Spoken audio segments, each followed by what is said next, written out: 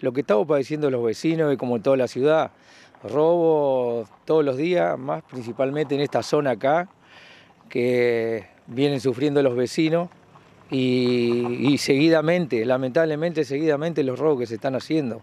Nosotros hemos pedido a la municipalidad en esta zona para que hagan limpieza, se abra una calle, saquen los árboles y pongan iluminación, que es lo que venimos pidiendo hace rato. Eh, también pedimos iluminación en la plaza. Vinieron, pero pusieron eh, dos luces nada más. Con dos luces no hacemos nada. Acá tenés que iluminar la zona, estamos en la oscuridad.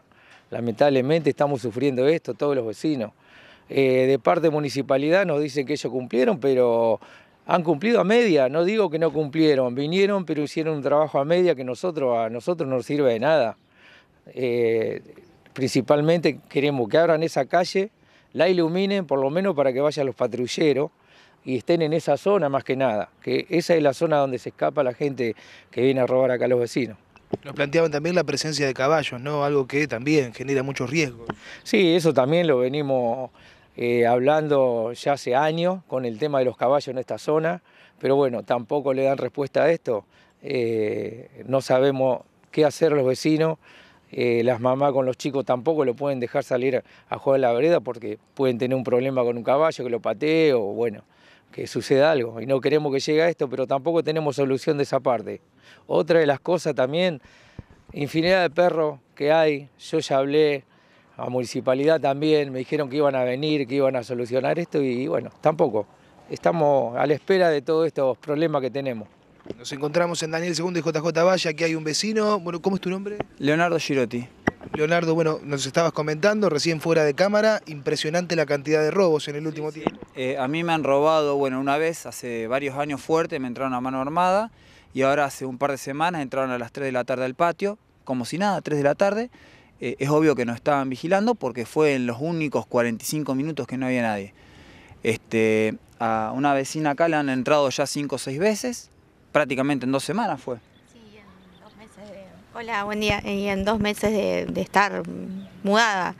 Es todo... Al poco tiempo. Sí, sí, me mudé a la semana, me entraron tres veces seguidas, las otras intentaron un montón de veces o un montón de situaciones donde se cuelgan del portón lateral que da como al campo del lado del circuito, digamos, no poder como descansar, estar tranquilo, eh, bueno, eso, básicamente. ¿Qué alcanzaron a llevarte? Bicicletas, eh, reposeras, eh, zapatillas, ventiladores, cosas que por ahí tenía, que recién me estaba acomodando, mudando. Y bueno, y lo poco que tengo en el patio lo tengo que tener como con un candado y bueno, eh, y más, que, más allá de lo material es la invasión a la privacidad, digamos, es todo lo que a uno le cuesta porque se lo gana con trabajo y bueno, es que uno recién se está arraigando a su hogar, digamos, y y estamos padeciendo todo este tipo de situaciones que dan sinceramente ganas de irse, irse del barrio. O sea, yo sé que lamentablemente la inseguridad abunda en nuestra ciudad, es una pena, pero bueno, eh, en esta, esta cuadra en particular o las cuadras eh, que nos acompañan son muy castigadas. ¿Han entrado cuando vos estabas en el domicilio o han aprovechado tu ausencia?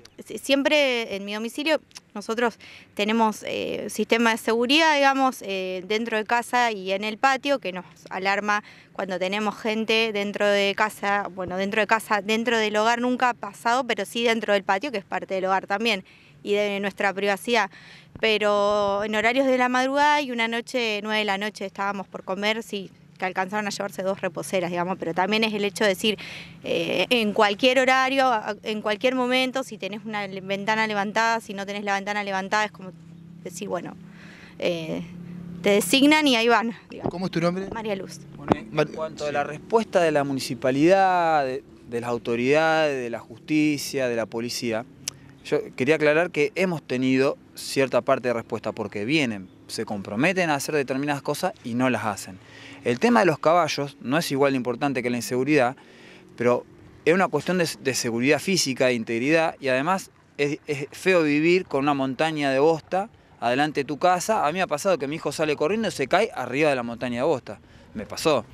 Además de tener los caballos ahí delante de tu casa, bueno, lo hemos hablado infinidad de veces y la municipalidad se desliga totalmente diciendo que hay que llamar a los Pumas. Se llama a los Pumas, los Pumas vienen, pero los espantan porque no tienen cómo llevárselo.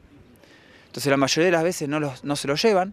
Cuando se lo llevan, se llevan uno o dos, pero después el corralón los libera. O sea que el problema es interminable, porque de fondo no hay una voluntad política de resolver el problema. Que agarrar a la gente y decirle, acá el caballo no puede estar.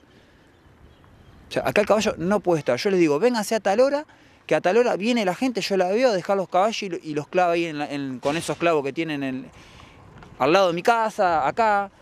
Y no se acerca a la gente que está para esto en la municipalidad.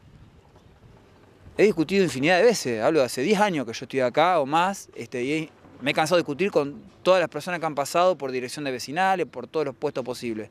Entonces, estamos, ¿por qué se llama el canal? Porque estamos necesitando que la municipalidad se comprometa y que trabaje además. No que venga a hablar y sea un compromiso de palabra.